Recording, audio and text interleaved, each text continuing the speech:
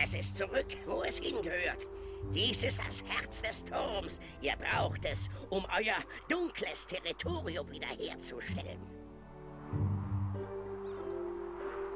Es ermöglicht es euch, den Turm jederzeit aufzusuchen und bietet Zugang zu allen Ressourcen des Turms. Die da wären?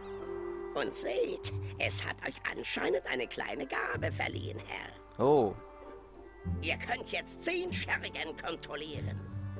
Ah, und es scheint, einen seiner Zauber behalten zu haben. Den Feuerballzauber. Der robuste kleine Kerl hat es geschafft.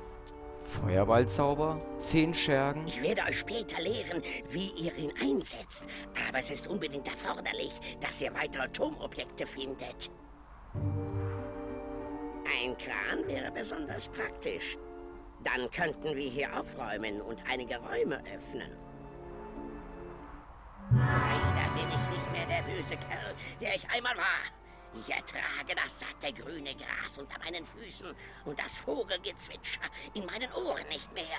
Ich suche mir besser eine dunkle Ecke und etwas, auf das ich einschlagen kann. Ich bleibe hier. Durch das Herz kann ich direkt mit euch sprechen, Herr, und sehen, was ihr tut. Kehrt durch das Tor in das Halbling-Territorium zurück. Ja, ja. Na gut, dann übernehmen wir das für dich, wenn du das nicht mehr kannst. Retter des Turmherzes. Dann werde ich euch mal im nächsten Video zeigen, wie wir ein bisschen mit dem Feuerball rumspielen. Bis dann. Wächter des zerstörten